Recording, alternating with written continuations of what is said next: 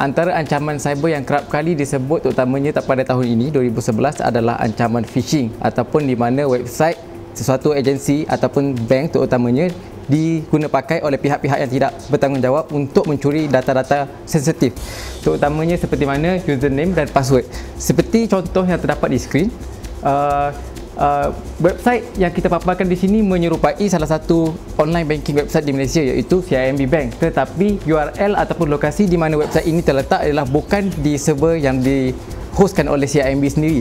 Jadi apa yang berlaku di sini adalah pihak penjaga cyber cuba untuk mendapatkan username dan password pengguna internet terutamanya pengguna CIMB Bank untuk mendapatkan akses kepada akaun tersebut dan melakukan segala uh, transaksi dan perkara-perkara lain yang boleh dibuat daripada perbankan online. Jadi uh, antara produk yang telah kami sediakan dengan uh, usaha sama uh, MyCert dan juga bank di Malaysia ialah Don't Fish Me di mana add-on ataupun perisian ini berupaya untuk mengesan sekiranya uh, perbankan website perbankan ini adalah fake ataupun palsu dan bukan website perbankan yang sebenar. Bagaimana ia berfungsi? Mari kita lihat di skrin. Okey, di sini adalah contoh di mana sekiranya seorang user cuba untuk melawati ataupun melayari website uh, yang menyerupai bank tetapi bukan website CIMB Bank yang sebenar.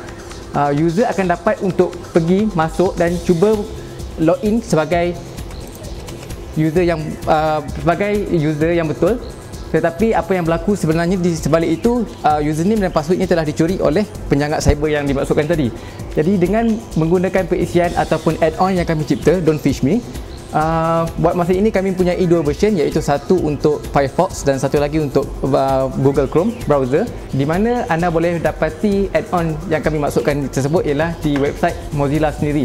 Anda hanya perlu meletakkan kata laluan kata uh, laluan Don't Fish Me dan website uh, seperti yang ditunjukkan akan terpapar. Anda hanya perlu klik kepada uh, continue to download dan installation akan berlaku selepas uh, anda klik dan menerima segala user agreement yang telah dipaparkan. Kemudian sekali lagi user yang sama dengan uh, Firefox add-on telah diinstalkan di Firefox-nya di browser mereka.